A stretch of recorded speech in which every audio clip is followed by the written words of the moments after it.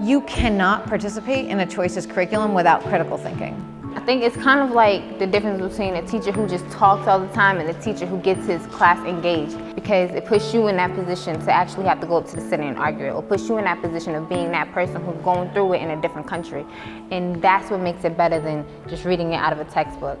The Choices program provides a bridge between the university and the high school classroom. Our focus is to empower young people with the skills and the knowledge to wrestle with international issues. We want to make available for teachers and students the kinds of issues that are really important in, in the world today, things that people talk about all the time. So for example, questions of terrorism, questions of war, questions of genocide. You could read a history book, you do the same thing over and over about the Civil War and slavery or World War, but you really don't make connection to like the modern world. And by us doing this, people actually kind of connect like the current events with past events. I think there's a reluctance on the part of teachers to take on what we perceive to be very controversial, very highly charged political topics.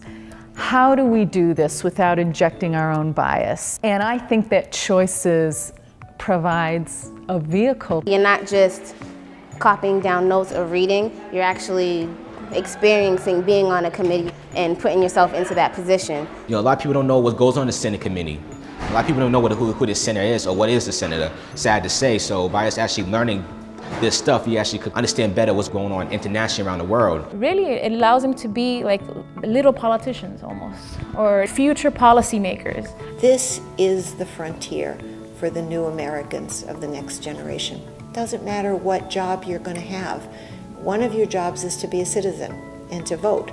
And in order to do that, you need to really have a sense of the world and how we are perceived in the world. The success of my classroom depends on being able to grab resources that another group has thoughtfully put together and bring them into my vision of what I'm teaching. Because if I have to go and find all the readings, if I have to come up with a format for the simulation, if I have to come up with the options, I couldn't do it. It's access to things that we don't have access to. It's primary documents that are current. They were published within the last six months. With the Choices curriculum, we're requiring kids to consider issues from multiple perspectives, which is such a critical skill for citizens to have. To be able to listen to a perspective that they don't initially agree with. It's good to get those type of options that you don't agree with and be able to argue them because that means that you're able to be insightful and look at someone else's opinion. And even though it's not your own, you make it your own. When students understand that history was contested, that things don't just happen, that people have a voice, it might change how they think about the present.